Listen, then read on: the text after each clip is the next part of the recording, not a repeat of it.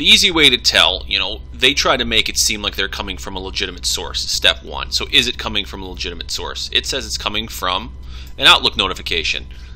Okay, well, if it's coming from an Outlook notification like it claims, why is the email address massacom at valdosaurus.mschosting.com?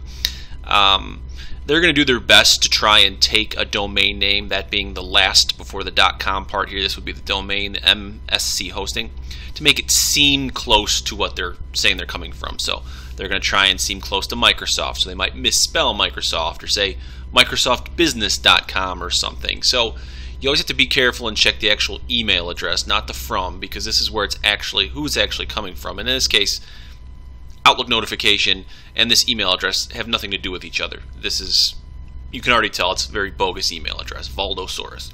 So that right there should throw up a, ref, a red flag. The second thing is, is where is it actually trying to send you? You know, usually most spam filters will uh, take out all the viruses and uh, all the malicious content in these emails. So now what they want to get you to do is click on a link to take you to their bogus website.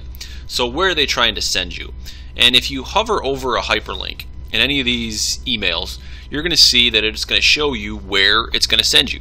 So in this case, resolve password abnormalities is actually going to send you to berlinshooting.de, some you know out of country website where who knows what it's going to have you do. It looks like it's going to queue up some kind of email. So, you know, by hovering over it, you very immediately see this is a bogus place it's going to send me to. It's coming from a email address that has nothing to do with what it claims to. So always really take a look, make sure everything's spelled and makes sense from the from.